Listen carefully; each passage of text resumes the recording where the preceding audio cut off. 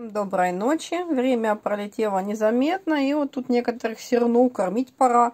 Ну, то, что в туалет сходил, это ура-ура, теперь его самого найти надо. Я, в принципе, уже походу нашел. Вон там под влажной салфеткой, под разлитой водичкой. Товарищ Катрель спрятался. Угу. Да, сейчас я тебя там откопаю. Ку-ку, мой мальчик. Угу. Тебе там нормально? Да нормально. Ты все равно, говорит, стелишь салфетку не там, где надо, я, говорит, какаю все равно другому могу. Да, я умею мимо какать салфетки, это моя суперспособность. Красавчик. Сейчас поубираем, повытираем контейнер. Там как раз разморозочка у нас подготовится, бо она еще в замороженном состоянии. Пока только водичку теплую положила, пусть тает. И будем кормиться. Товарищ активно уже просит кушать, прекрасно зная, с чем связано отжатие имущества. Кормовой объект у нас сегодня вообще из области зомби-апокалипсиса. Ну, не принципиально, то есть ему пофиг, какое кушать. Главное, что он был замороженный, то есть никакой гадости в нем нету, все в порядке. Да, сейчас, скажи, я разберу, что это за фигня и где у нее начало, и буду кушать. Угу. Скажи, ну вот кушать-то хочется, а вот всегда проблема найти голову. Это вечная дилемма. Это у карамельки не возникает вопросов, где голова. А вот у этого товарища вечно поиски в каких-то местах труднодоступных. Угу, вот, вот там точно голова. Вот да, вот именно в этом месте. А, ты себе польстил. Поперек глотать. Не-не-не, солнце, давай с головы, ты рядом. Во, оно самое, давай. Давай, давай, ты уже у цели, давай. Другого не дам, бери. Страшный, я сама понимаю, что он страшный. Ну, ничего страшного, так сказать. Тавтология, но, тем не менее, оно для тебя съедобное. Кушай. Да-да-да. Хочешь, хочешь есть, тут даже не обсуждается. Карамелька еще вчера клянчить начала. Нет, другого не будет, можешь не искать, не ходить. Вариант только один. Хоть ищи, хоть не ищи. Нюхает, нюхает язычком. Сканирует пространство. А вот судьба так свела только с этим кормовым объектом. Других вариантов нет. Да, бери. Сейчас повыделывается для приличия. Во-во-во, почти нашел голову, давай. Сомнения, колебания какие-то. Сколько сложностей у ребенка в жизни. Кошмар. Еда берется из ниоткуда, пока у нее голову найдешь. Ой, жесть, скажи. Потом пока запихнешься. Караул какой-то. Давай, давай, бери. Ну-ка, ну-ка, ну-ка. О, сам в себе решил заблудиться. Во, наконец, голова. Бери, бери, бери. Ну, ты ж правильной дорогой идешь. Все нормально. Ты еще его держишь, чтобы он никуда не делся, да?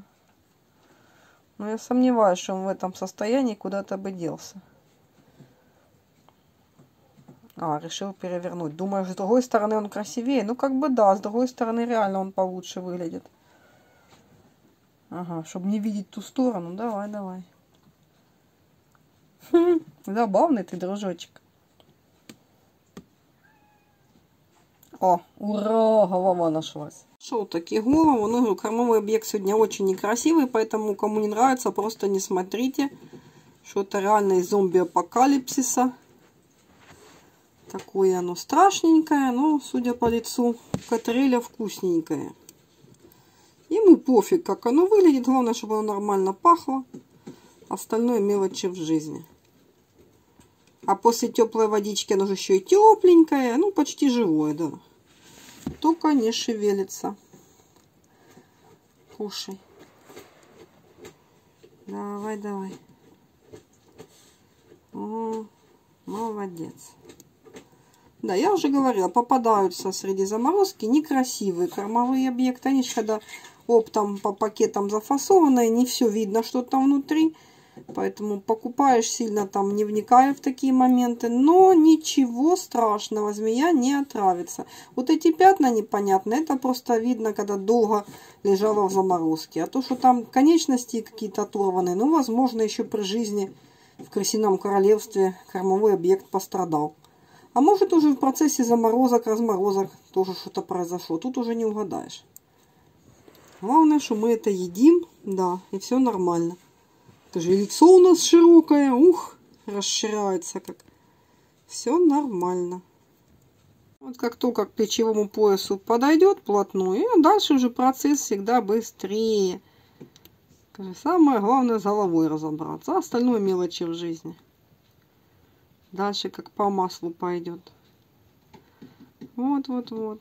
Вот он, как он, видите, половинками челюсти, то правой, то левой продвигается немножко. Во. А когда уже голова за челюсти туда пройдет, сокращение в шейном отделе по пищеводу поможет протолкнуть это дело дальше. Вот пошли сокращения волной. И, соответственно, быстрее пойдет сам процесс проглатывания. Уже товарищу легче. Да, он как ротик развивается. Обалдеть. Ну вот уже голову проглотил стопроцентно. Сейчас туда-сюда скажи, покушал. Что тут? Недолго. Скажи, я быстрый. Все нормально. А если смотреть с этого ракурса, реально питонище такое, ух, огромный, да, большой, 15 метров, как минимум. Угу. С красивыми глазками. И широким ротиком. Ну вот и все, считай. Последние штрихи. И запихнулся. То есть больше выделывался, честное слово. С поисками головы, других вариантов. Вот-вот-вот. Доглатывай. И я тебе имущество верну. Давай, давай. О, отлично. В принципе, все.